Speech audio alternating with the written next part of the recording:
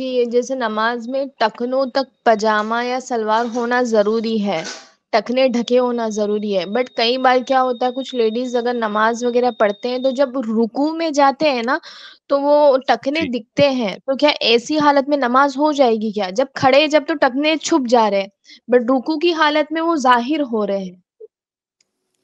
जी देखिए बहन सवाल आपका मेरे ख्याल से औरतों की नमाज़ से मुतालिक है।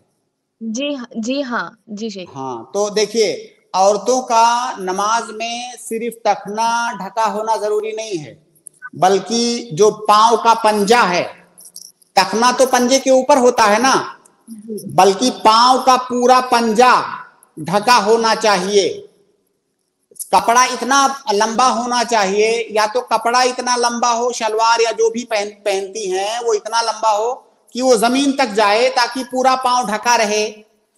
आ, या तो ज़ाहिर है अगर शलवार टखने तक है तो नीचे पंजे में मोजा होना चाहिए या कोई भी ऐसा ऐसी चीज़ जिससे कि पूरा पंजा ढका रहे।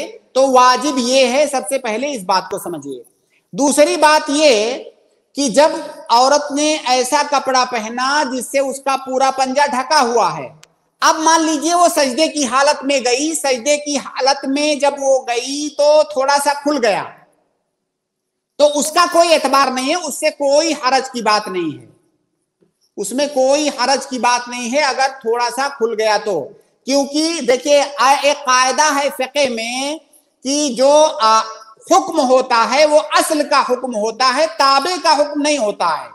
तो जब वो सजदे की हालत में गई तो देखिए जब पाँव का जो निचला हिस्सा होता है निचले हिस्से का भी ढका होना ज़रूरी नहीं है। मान लीजिए किसी औरत का कपड़ा ज़मीन तक जा रहा है उसका पंजा ढका है। अब ज़ाहिर है वो जब सजदे में जाएगी तो पाँव का जो तालू होता है तालू जिसको कहते हैं तालू तो खुल जाएगा उसमें कोई हरज की बात नहीं है।